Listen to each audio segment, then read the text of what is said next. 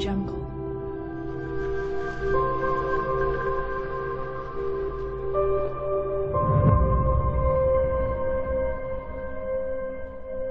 Audio Jungle. 一月三十一日，大陆官方公布，今年一月 PMI 为百分之五十一点三，创八个月新低。其中，新出口订单指数跌，一年来首次跌破荣枯线。分析指，此是受人民币升值的影响所致。据苹果日报报道，由于美元大幅走弱，人民币近日猛涨。上海人民币即期汇率三十一日傍晚官方收盘四点三零分。报六点二九二元兑一美元，为近两年半最高价位。按此计算，在岸人民币一月升值了百分之三点四，创下一九九四年汇改以来最大单月升幅，升势迅猛程度惹人关注。市场人士称，本轮人民币走势属于美元走弱背景下的被动升值。同日，中共国家统计局和物流与采购联合会联合公布的宏观经济。先行指标显示，一月官方制造业采购经理人指数 PMI 降至五十一点三，低于调查预估中值五十一点五，创八个月低点。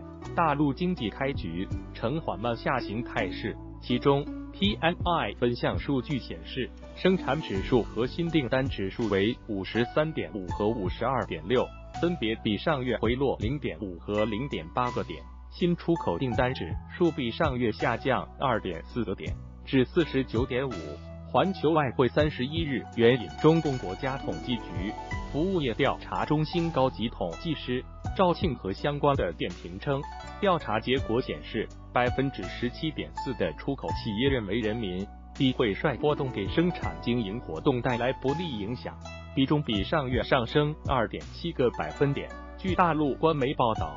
中国物流信息中心分析师陈忠涛相关点评说，由于人民币升值，出口波动明显，受此影响，装备制造业、大中型企业生产活动有所下降。